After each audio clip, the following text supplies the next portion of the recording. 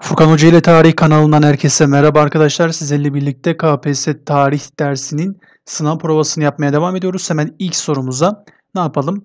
Ee, denememize başlayalım. Türkler ölümden sonra yaşamın olduğuna yani ahiret inancı e, buna inanmışlardır.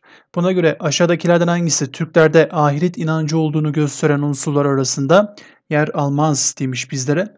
Ölen kişilerin mumyalanması evet bir ahiret inancı olduğunu ne yapar bizlere gösterir. E, çünkü e, beden mumyalanarak ne yapılır? E, öteki dünyada e, aynı bedende olması amaçlanıyor. Bu şekilde e, ölen kişiler mumyalanmıştır. Yuvada verilen cenaze törenlerin yapılması e, bir ahiret inancının e, olduğuna kanıt değildir. Bu sadece törendir. E, o yüzden e, ahiret inancının olduğunu göstermez. Kurganlara balbal dikilmesi biliyorsunuz ki balbalın ölen kişiye ölümden sonra hizmet edeceğine inanılıyordu. O yüzden dikiliyordu. Ölülerin eşyalarıyla birlikte gömülmesi, uçma dediğimiz cennet, tamu dediğimiz cehennem inancının bulunması bunlar e, nedir? Ahiret inancı olduğunu bize gösterir. Cevabımız da B şıkkı olmuş oldu. Geldik ikinci sorumuza. Büyük Selçuklu Devleti döneminde yaşamış, edebiyat, matematik ve astronomi alanlarında eserler vermiş ünlü edebiyat ve bilim insanı aşağıdakilerden hangisidir demiş bize. Enveri, Alişir Nevai, Firdevsi, Hüseyin Baykara bunlar değildir. Baktığımız zaman kimdir? Ömer Hayyam'dır. Ömer Hayyam'ı hatırlayınız. Rubai türünde dörtlükler halinde ne yapıyordu? Şiirler yazıyordu.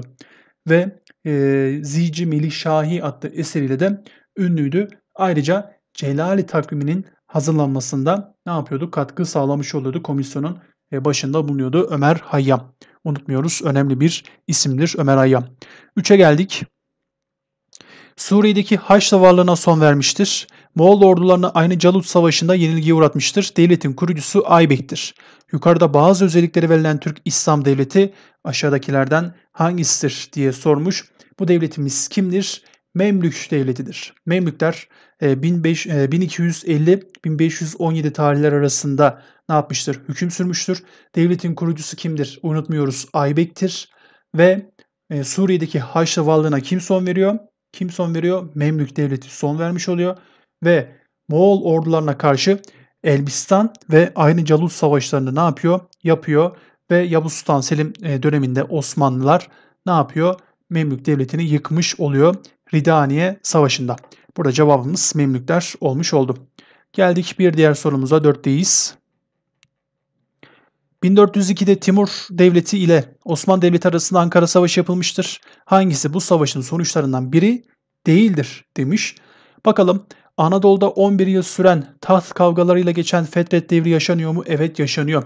Timur e, ne yapıyor? Osmanlı Devleti ile Ankara Savaşı'nda Timur Yıldırım Beyazıt'ı ne yapıyor? Esir alıyor Ankara Savaşı'nın sonucunda ve Yıldırım'ın oğulları arasında 4 oğlu İsa Çelebi, Musa Çelebi, Süleyman Çelebi ve Mehmet Çelebi.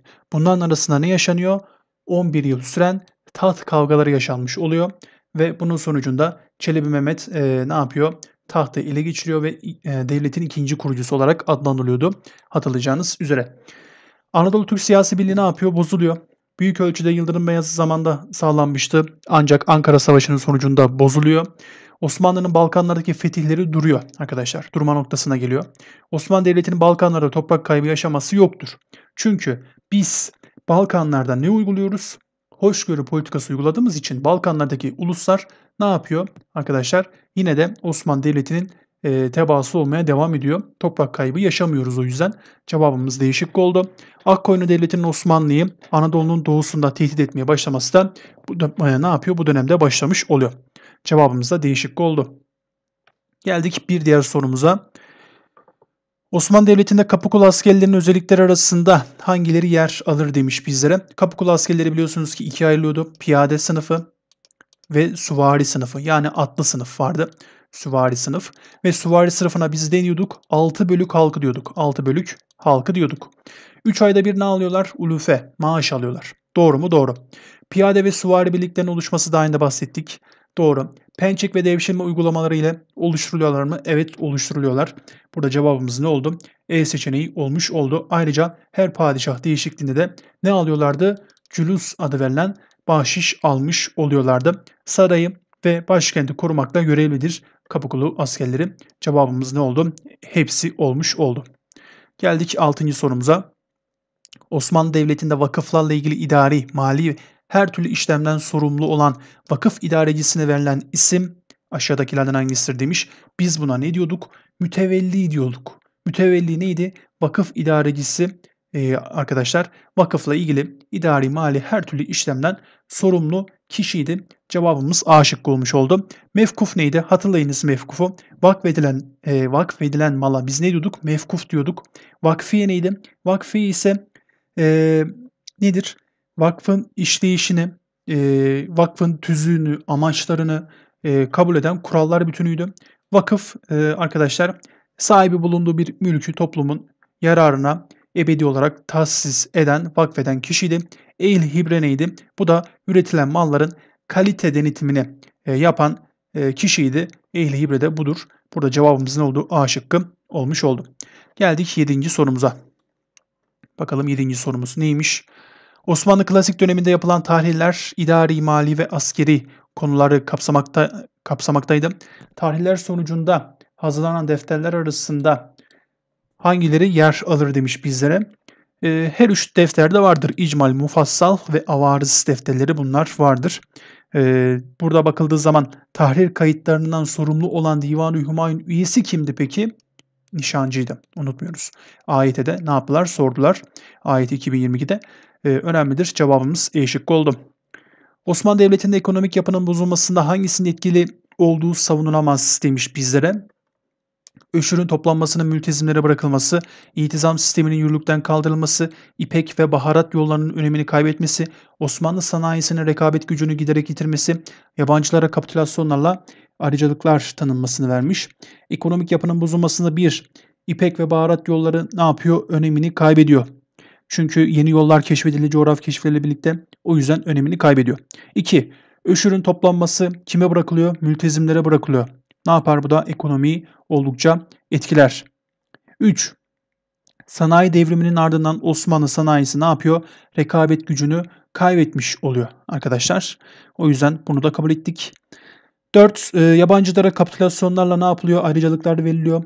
Ayrıca e, 1838'de ne vardı? Balta Limanı Ticaret Anlaşması vardı. Bu anlaşmayla birlikte Osmanlı Avrupa'nın açık pazarı haline gelmişti ve Osmanlı'nın ekonomisinde oldukça etkilemişti. İltizam sisteminin yürürlükten kaldırılması ise ne zamandı? Issaat fermanıyla. Kimin zamanında? Abdülmecit. Kaç yılında? 1856. Osmanlı Devleti'nin ekonomik yapısını olumsuz etkileyen durumlar arasında yer almaz iltizam sistemi. O yüzden cevap B şıkkı olmuş oldu. Geldik 9'a. 18. yüzyıl ıslahatlarının Avrupa etkisi vardır. Osmanlı Devleti savaşlarda aldığı başarısızlıklar nedeniyle askeri ıslahatlara daha çok önem vermiştir. Bu dönemde Avrupa tarzı açılan askeri okullar arasında hangisi yer almaz demiş. Hendesehane var. Mühendishane-i Bahri Hümayun var. İstihkam okulu var. Baktığımız zaman Mühendishane-i Berri Hümayun vardır ama Humbaracı Ocağı e, baktığımız zaman yoktur. Neden? Çünkü Humbaracı Ocağı ve Topçu Ocağı 18. yüzyılda ıslah ediliyor arkadaşlar. Yani açılan okullar arasında yer almaz.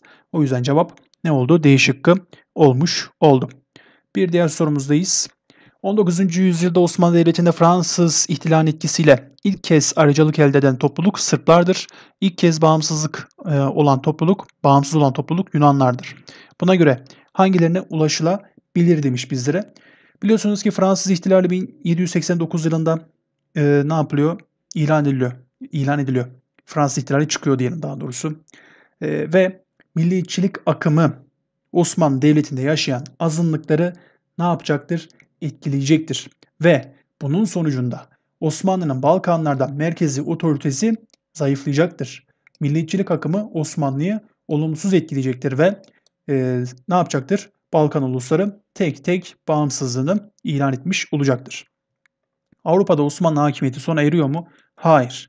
Sona ermiyor 19. yüzyılda. Ne zaman sona eriyor? 1912-1913 Balkan Savaşları'nın sonucunda sona eriyor. O yüzden bunu kabul etmedik. Cevabımız da 1 ve 2 olmuş oldu. Geldik bir diğer sorumuza. Bakalım 11. sorumuzdayız. Sorunun biraz yarısı çıkmamış gibi 1895 yılında 2. Abdülhamit döneminde e, yetim, yaşlı ve engellilerin ihtiyaçlarının karşılanması galiba şurası dul.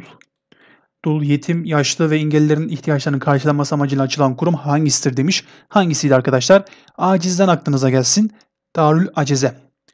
Darül Acize arkadaşlar. E, bunların e, ihtiyaçlarının karşılanması amacıyla ne yapılıyor? Açılmış oluyor. Diğerlerine bakalım. Darüşşafaka neydi? Abdülaziz zamanında öksüz ve yetim Müslüman çocuklarını okutmak amacıyla İstanbul'da açılıyor. Darül Eytam ise Balkan ve birinci, e, ve Birinci Dünya Savaşı'nda e, kimsesiz kalan e, çocukları barındırmak e, için 1914 senesinde açılıyor. Darül Muallimin neydi? Abdülmecit döneminde açılan erkek öğretmen okuluydu. Hilal Ahmer ise Abdülaziz zamanında açılan e, Osmanlı yaralı ve hasta askerlere yardım cemiyeti olarak kuruluyor. İkinci Abdülhamit zamanında ise Hilal Ahmer adını alıyor. Günümüzdeki Kızılay'dır. O yüzden cevabımız Darül Acize oldu. Buradaki verilen bilgi. Geldik bir diğer sorumuza. Biraz geri alalım. Sorumuz birazcık uzun. Baktığımız zaman evet. Birinci Dünya Savaşı'nda Osmanlı Devleti'nin savaştığı cephelerden bazıları ile ilgili bilgiler aşağıda verilmiştir diyor bizlere. Bakalım yukarıdaki bilgiler aşağıdaki cephelerle eşleştirildiğinde hangisi dışarıda kalır demiş bizlere. Bakalım. Osmanlı Devleti toprakları dışında müttefiklerine yardım etmek amacıyla savaşmıştır diyor. Nerede savaşıyor? Galicia'da. Buraya B'ye yazıyorum. B şıkkı gitti. İngilizler Musul petrollerini ele geçirmek ve Rusya'ya yardım etmek amacıyla savaşmıştır. Hangi savaşta? Irak'ta. Şurada C'ye yazalım. Irak'ta gitti.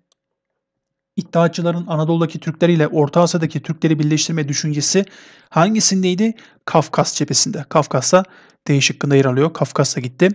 Osmanlı Devleti Mısır İngilizlerden geri almak istemiştir. Ne ile? Kanalla. Diğer adı Süveyş'te. Bu da E şıkkı. Bu da gitti. Geriye kaldı Çanakkale cephesi dışarıda kalmış oldu. Çanakkale ile ilgili herhangi bir bilgi verilmemiş sorumuzda. Geldik bir diğer soruya. Bakalım ne diyor? Aşağıda verilen milli mücadele döneminde yaşanan gelişmelerle ilgili eşleştirmeden hangisi yanlıştır demiş. E, baktığımız zaman Sivas Kongresi temsil heyetinin yürütme yetkisini kullanmaya başlamış mıdır? Evet başlıyor. Kullanması doğrudur. Mebusa Meclisi'nin açılması Mustafa Kemal'in Erzurum'dan milletvekili seçilmesi doğrudur. Unutmuyoruz. Erzurum'dan milletvekili seçiliyor son Osmanlı Mebusa Meclisi'nde. Amasya Genelgesi milli mücadelenin amaç, yöntem, programı belirleniyor. Doğru. Erzurum Kongresi manda ve himaye kesin olarak reddedilmesi Erzurum'da değildir. Nerededir? Sivas'tadır arkadaşlar. O yüzden cevabımız ne oldu? Değişik oldu. Havza genelgesi ulusal bilinç oluşuyor. Geldik 14'e. Milli mücadele hazırlık döneminde kararları hangisinde alınmıştır demiş bizlere. Milli sınırlardan ilk kez bahsedilmesi, ilk kez geçici hükümetten bahsedilmesi, azınlıkların bağımsız devlet kurumlarına karşı çıkılması nerede? Erzurum Kongresi'nde alınmıştır. Bu karar Mustafa Kemal'in de sivil olarak katıldığı ilk kongredir. Unutmuyoruz. Mustafa Kemal sivil olarak katılıyor ilk kez.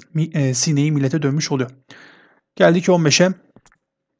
Birinci Türkiye Büyük Millet Meclisi'nin açılmasıyla kurulan yeni hükümet yasama, yürütme ve yargı yetkilerini Büyük Millet e, Büyük Millet Meclisi çatısı altında toplamıştır. Bu durumun nedeni hangisiyle açıklanabilir demiş. İnkılapların bir an önce halka benimsetilmek istenmesi değil, çok partili hayata geçişin sağlanmasının amaçlaması değil, layık devlet düzeninde geçirmek istemesi değil, demokrasi anlayışını güçlendirmek istemesi değil, kararların çok kısa bir sürede alınması ve uygulanmasının gerekli olmasıyla alakalı bir durumdur bu durum. O yüzden cevabımız ne oldu? E, e seçeneği olmuş oldu. Çünkü olağanüstü bir dönemdeyiz arkadaşlar. O yüzden e, kararlar ne olmak zorunda? Çok kısa bir sürede ve e, alınması lazım ve uygulanması lazımdır. Geldik 16. sorumuza. Milli mücadele döneminde göstermiş oldukları başarıdan dolayı Mustafa Kemal döneminde meclis tarafından İstiklal Madalyası il ve ilçelerinden hangilerine verilmiştir diyor bizlere. Yine bir önemli soru daha ama Mustafa Kemal e, döneminde diyor arkadaşlar bu e, ibareye dikkat etmemiz lazım.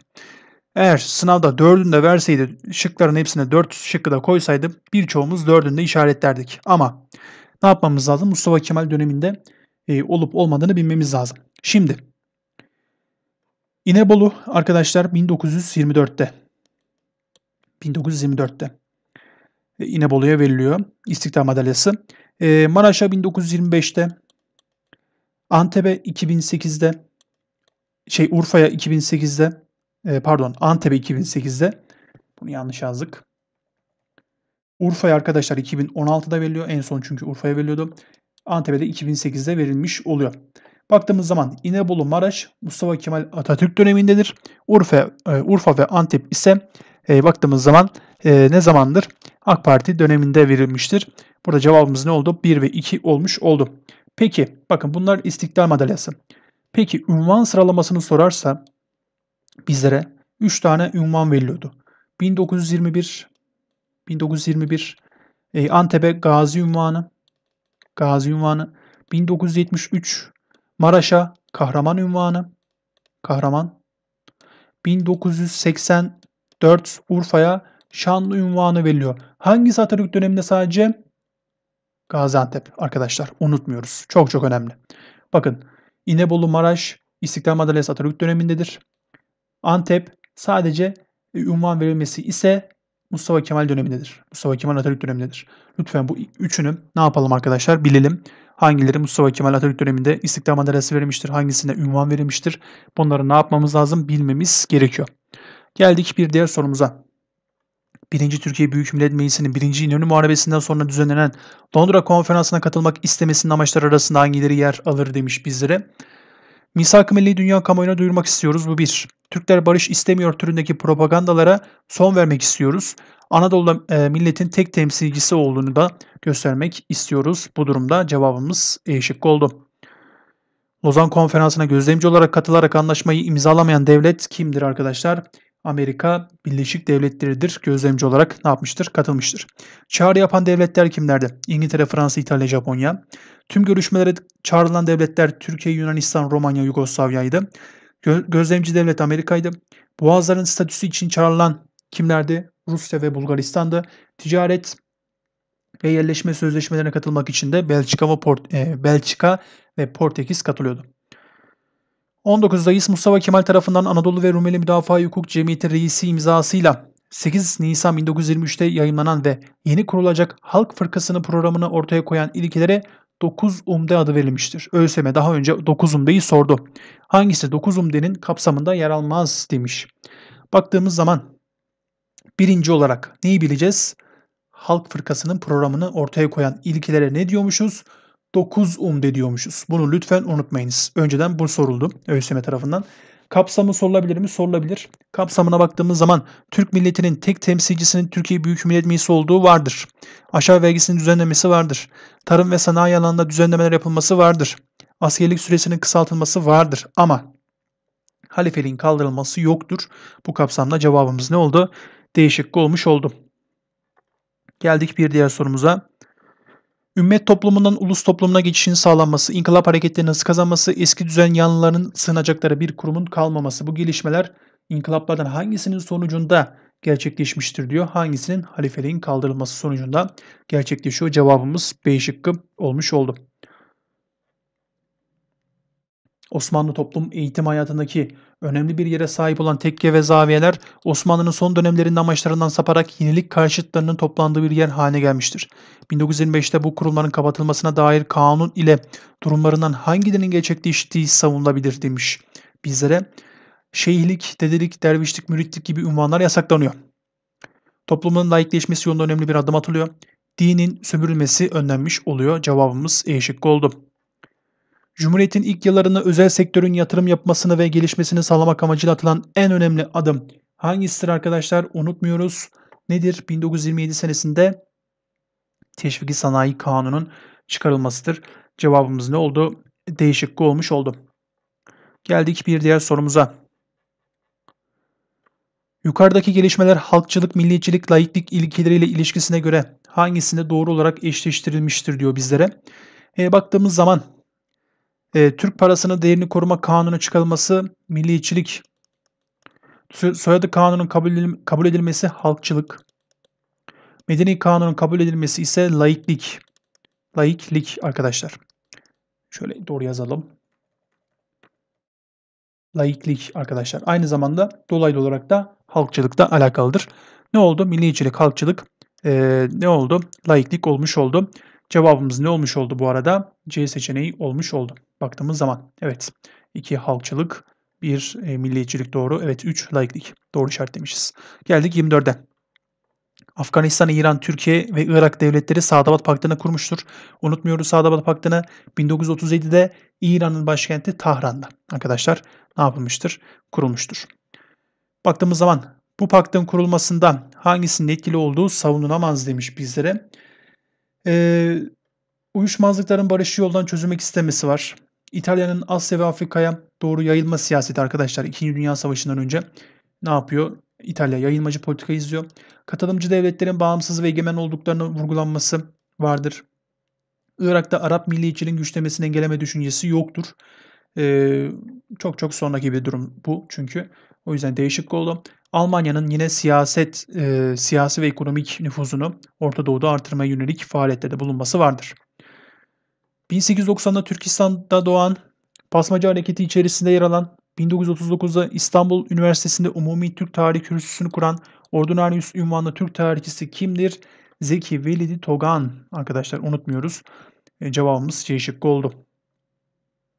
Geldik 26'ya. Hindistan Bağımsız, Bağımsızlık Hareketi'nin siyasi lideri olan 1869-1948 yılları arasında yaşamış, Hindistan'da 2 Ekim günü anısına milli tatil olarak kutlanan, halkına ağır yük getiren Tuz Kanunu protesto etmek amacıyla Tuz yürüyüşünü yapan devlet adamı kimdir? Mahatma Gandhi'dir arkadaşlar. Cevabımız ne oldu? B şıkkı olmuş oldu. Ayrıca e, nedir? E, Bapu yani baba ünvanı alıyor kendisi. İngiliz hakimiyetine ve toprak e, soyluluğuna da karşı çıkıyor. Mahatma Gandhi önemlidir. Son sorumuzdayız. Türk dış politikasında Türkiye ve Yunanistan'ı karşı karşıya getiren sorunlar arasında hangisi yer almaz diyor. Çok çok önemli. Karasuları sorunu var, kıta sahanlığı var, Batı Trakya Türkleri var, Kardak kayalıkları sorunu var ama Asala sorunu Çim'le Ermenistan ile yaşadığımız bir sorundu. Cevabımız ne oldu? E şıkkı olmuş oldu. Diyelim ve noktalayalım. Ee, arkadaşlar beni sabırla dinlediğiniz için hepinize tek tek teşekkür ediyorum. Bir sonraki sınav provamıza görüşmek dileğiyle kendinize çok çok iyi bakın. Allah'a emanet olun.